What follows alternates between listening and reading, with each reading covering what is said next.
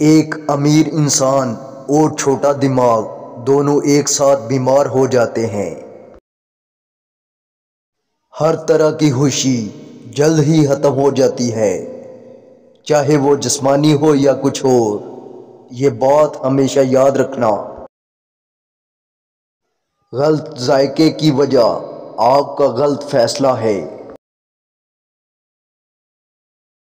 एक चूहा भी आपका मकान गिरा सकता है, अगर आपकी दीवारें कमज़ोर हों। कभी मायूस ना हो, लेकिन अगर आप हो जाते हैं तो मायूसी में काम करें। रुकना मत। परेशानी में खूबसूरती सबसे ज़्यादा मुतासर होती है। हम उसी हाथ को काटते हैं। जिस हाथ का हमने खाना खाया हो।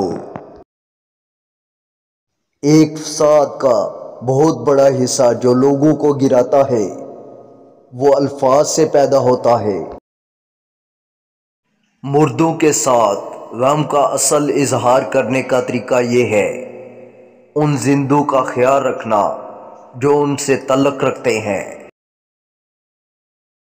हमारा सब्र हमारी कुत से ज़्यादा बहुत कुछ हासिल कर सकता है। मुसाफिर अपने सफ़र के अख्ताम को आखिर पहुँच ही जाता है। जब आपको किसी चीज़ से खौफ आता हो तो उसके बारे में जितना हो सके सीखें। इलम खौफ को फतह करता है। जो लोग बराबरी की कोशिश करते हैं वो कभी बराबर नहीं हो सकते। उम्र के तकबर को नौजवानों ने बुढ़ापे के लिए जमा कराना होगा।